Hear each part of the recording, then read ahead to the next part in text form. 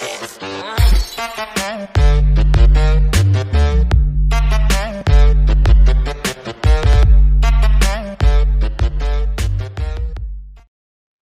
everyone and welcome to Forensic Science India. My name is Arunima and today's topic is going to be injuries, a general introduction. So let's get started.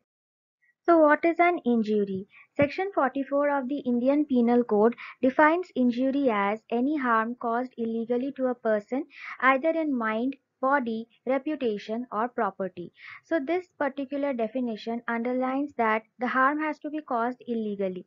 So not all injuries may be caused illegally. Some of them can be accidental. Some of them can be done in self-defense. It also takes into consideration the injury that is done to the mind, so it underlines any harmful activity that may have caused any kind of mental torture reputation harming the uh, respect of the person or to the property something that is non-living also injuries can result in death by the following modes suicidal, homicidal, and accidental. And that is the medico legal significance of the injury examination to determine that in what way that particular injury has been fatal now we come to classification of injuries. The injuries can be classified firstly on the basis of their causative force.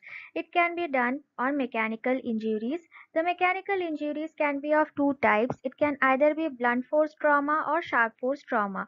A blunt force trauma is one that is inflicted by any object which has a blunt edge. It does not have a sharpened edge and it can be in the forms of abrasion, contusion or laceration. In either of the three, there is no actual bleeding. It is all the extravasated blood and all the superficial bleeding. These are not that much fatal in nature, but sometimes it can be fatal. Fractures can also be further classified as a simple fracture, a compound fracture, a comminuted fracture, depending upon where the fracture is occurring and what is the severity of the fracture. The next is sharp force trauma. It is generally inflicted by sharpened weapons and it can be of two types. Incised wounds, these are very distinct in shape. They have got a starting point as well as a tail. That is, it has got a head as well as a tail and these are very uh, spindle shaped in nature.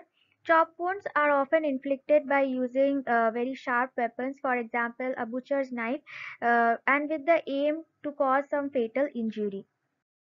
Thermal injuries are often caused due to extreme of temperature, either due to very cold or due to very heat. So the cold ones are frostbite, trench foot and immersion foot. Frostbite is very common. The exposed parts of our skin when uh, subjected to very cold temperature, often there is peeling of the skin. Our skin turns a slight pink in color and uh, the skin will become very coarse in nature and uh, also uh, if the mountain climbers are wearing some uh, very gloved shoes in those uh, places also often trench foot is very common.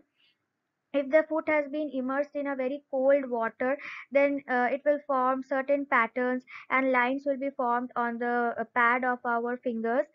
Also due to heat Burns are caused due to wet heat, whereas scalds are caused due to dry heat. And often, uh, like the burn injuries are also classified, and examination of the burn injuries is also done. Chemical injuries, these are caused due to corrosives or irritants. Corrosives are the strong acids and alkalis like concentrated sulfuric acid, concentrated nitric acid, concentrated hydrochloric acid.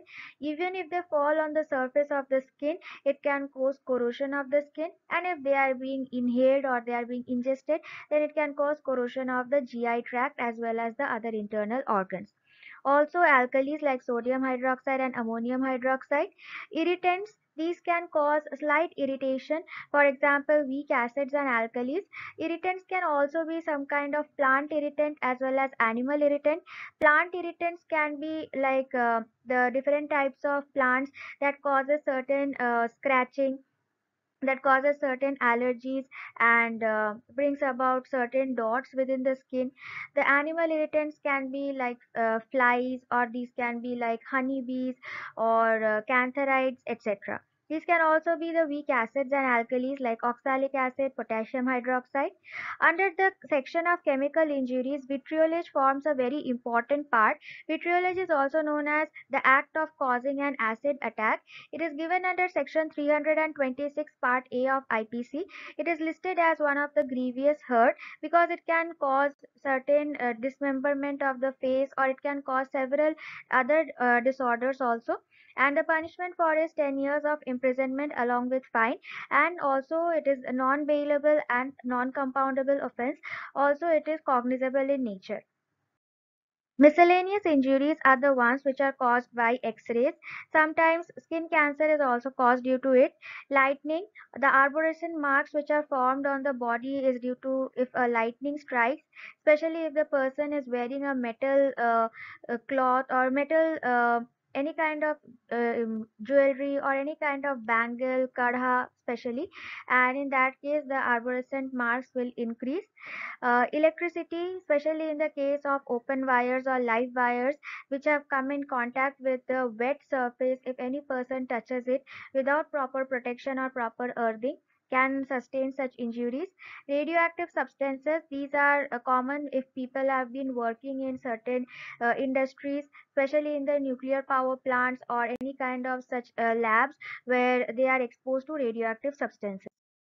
Classifications on the basis of medico-legal significance.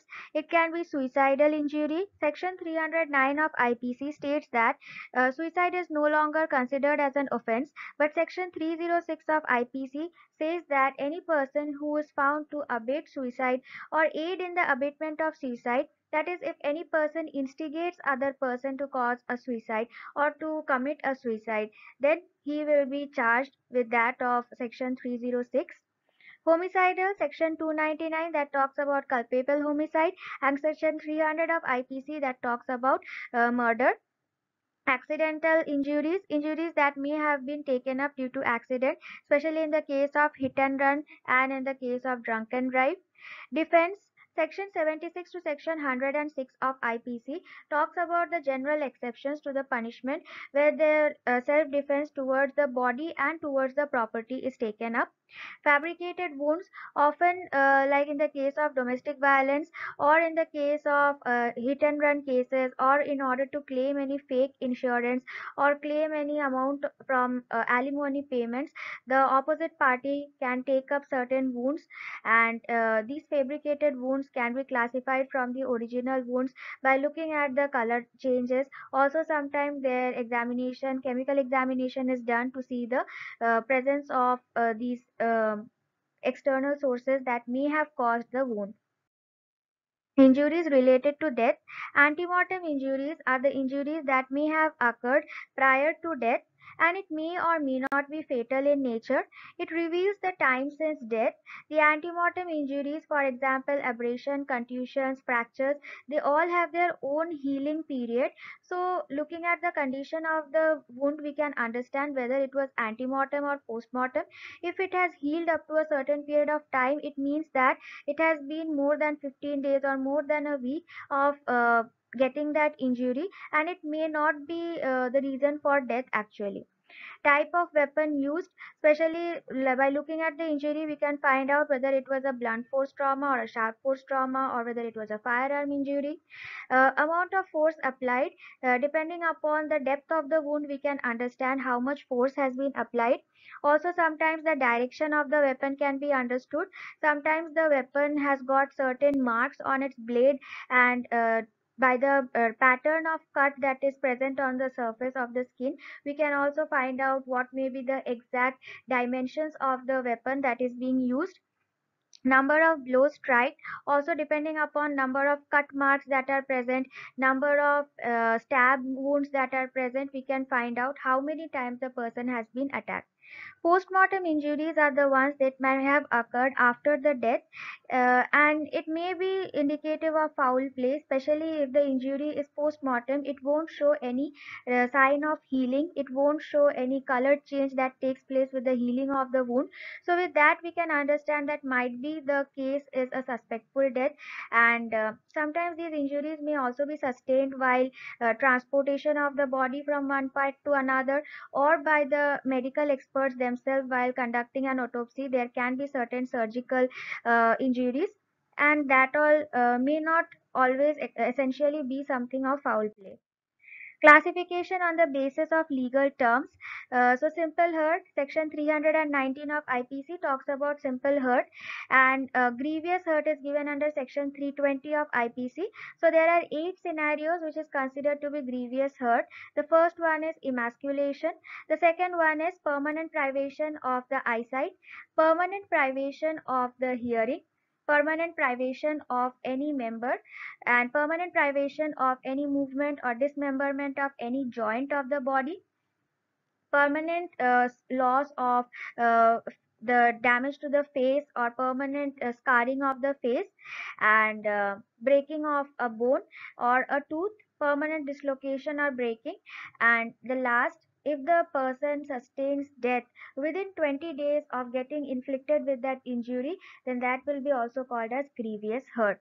Any other hurt that does not fall under these following eight categories will be considered as simple hurt given under section 319 in the following uh, sessions of the presentation, we will see what every classification of injury looks like, what is a uh, abrasion, what is a contusion, because the differentiation becomes difficult uh, once it comes to practical use. For that, we require proper photographs.